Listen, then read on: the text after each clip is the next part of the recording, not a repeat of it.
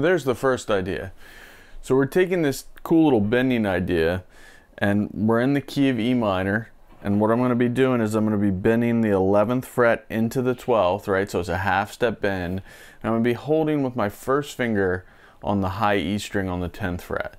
So 11th fret on the B, bending up, which is really going to be sounding the B note, right? Which is on the 12th fret. It's a half step bend. So sounds like this. And then I'm going to be plucking with my middle finger the high E string.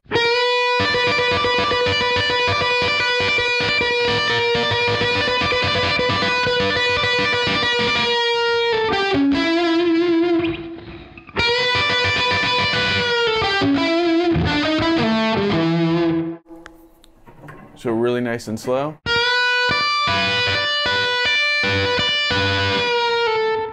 Once I'm done with that idea, I'm going to be pulling that back down so it's going to be a nice slow release.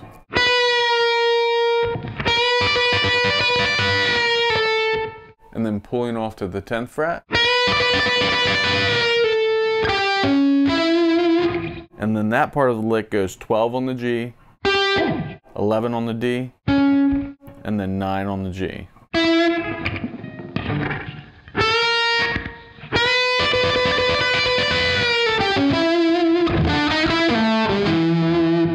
Now that part of the lick is a simple pentatonic idea, but I'm using some chromaticism in there. So that's going to be 7, 8, 9 on the G, and then slide from 9 to 7 on the D, pull off to 5, and then 7 on the A string.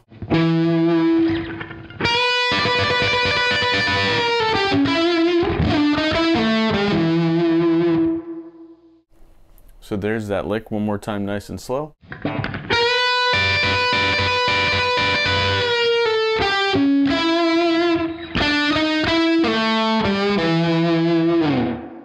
Pretty cool idea. Hope you guys enjoy that one.